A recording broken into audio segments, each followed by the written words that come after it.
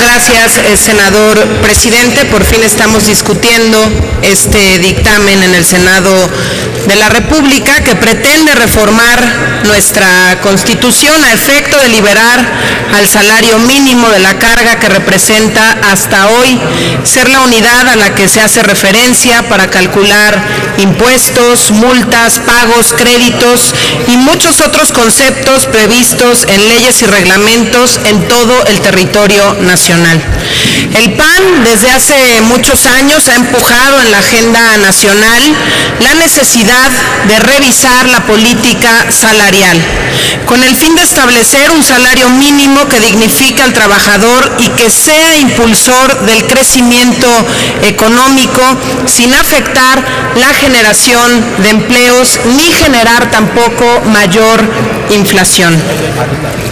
Nos alegra que poco a poco todos los actores políticos del país se hayan sumado a esta iniciativa presentando propuestas a efecto de aumentar el salario mínimo. El dictamen que el día de hoy votaremos prevé el primer paso para que exista un aumento en la calidad de vida, es decir, estamos hablando de la eliminación de su vínculo con pagos que los ciudadanos deban hacer al gobierno. Pero para que esto tenga impacto deberá ir acompañado del restablecimiento de la naturaleza del salario mínimo como el monto indispensable que todo patrón debe pagar por un servicio personal subordinado que permita a las familias adquirir los bienes para vivir adecuadamente. Reforma es apenas un primer paso en la verdadera transformación económica que debe estar encaminada a mejorar el ingreso de las familias mexicanas. No podemos olvidar que tenemos el segundo salario mínimo más bajo en toda América Latina. El poder adquisitivo del salario mínimo a lo largo de los años ha ido perdiendo valor real. Solamente de 1976 al año 2000, el salario mínimo tuvo una pérdida de casi 84% de su valor. En los 12 años de la alternancia esta situación comenzó a revertirse discretamente, pero por desgracia, este año conocimos que en México tenemos hoy 2 millones más de pobres. Por supuesto también y desgraciadamente casi la mitad de toda la población de nuestro país se encuentra también en situación de pobreza.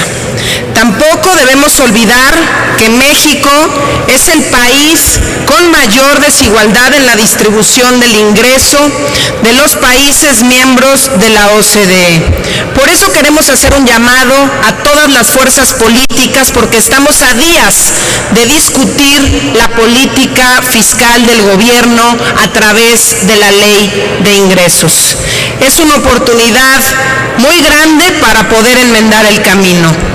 No más una reforma fiscal asfixiante. Es preciso hacer un llamado a los gobiernos estatales para que flexibilicen en la medida de sus posibilidades y atribuciones la carga fiscal que imponen a su población. En el caso del Distrito Federal, queremos exhortar puntualmente al jefe de gobierno a abandonar el doble discurso. Ese que por un lado utiliza para decirse interesado en elevar el salario mínimo, pero que por otro lado y de manera totalmente incongruente e insensible, le hace capaz de incrementar las tarifas del transporte público por decreto. Por ejemplo, la del Metrobús en un 20% o la del metro en un 66%.